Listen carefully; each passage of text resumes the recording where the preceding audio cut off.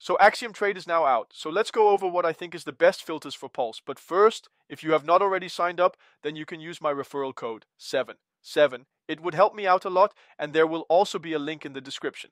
Now let's go to Axiom Pulse. This probably reminds you of NeoVision or Meme Scope, but just an upgraded version. My favorite feature is that we can easily see what coins are bundled, which can be a big indicator if the coin will rug, and it also feels very smooth and not laggy. We can also see insider, snipers, dev, and top 10 holders. Hover over any coin to see the bonding percentage. Now let's go to filters. Here we can choose if we want to see Raydium, Pump Fun, and Moonshot tokens. The thing about Raydium coins is that it can easily be a honeypot token. Right here, for an example, a Raydium coin just launched. It got $4 volume, 11 buys, no sells, and 1.8 billion market cap. I normally only leave Pump Fun on for this reason alone.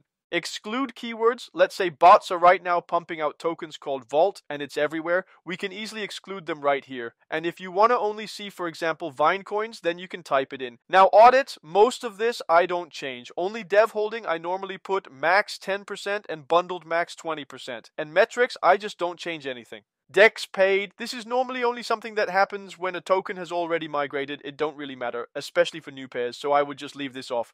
Final stretch, also known as about to migrate. This is where we can snipe coins right before they really pump. Protocols, I only leave pump fun enabled again. Bonding curve, you can change if you like. For example, minimum bonding to 95%, so it only shows coins who are really close to migrating, but I normally just let it be. Max 10% dev holding, max 20% bundled, and at least 40 holders. Metrics, I again don't change anything. Migrated. Age, I like to put max 60 minutes. Dev holding max 5% now, bundled 15%, and minimum holders 75. And again, I just let metrics be.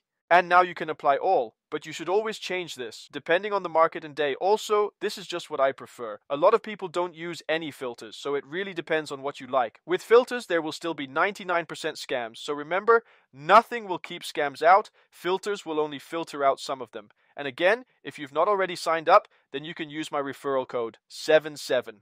But that's about it. If this video helped you in any way, then please leave a like, it helps me out a lot more than you know. Thanks for watching.